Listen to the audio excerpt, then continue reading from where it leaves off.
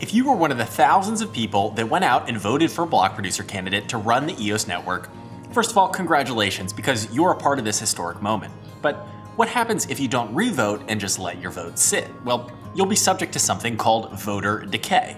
Allow me to explain.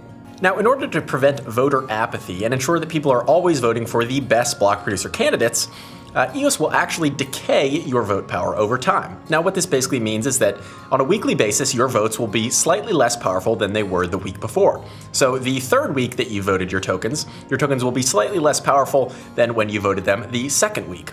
And what this ultimately boils down to is that if you leave your tokens voted for a year and never revote, your token power will be cut in half after that one year period. So, how can you avoid this? How can you make sure that your tokens are always at max voting power? Well, fortunately, there's a way.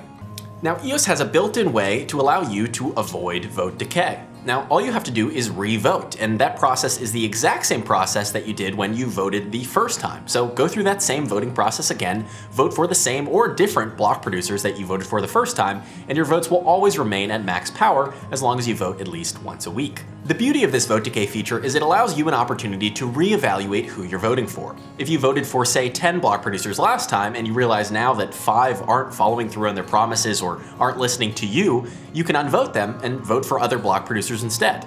It's an amazing process that should allow us to keep the EOS governance system dynamic and make sure that only the best block producers are voted in to run the EOS network.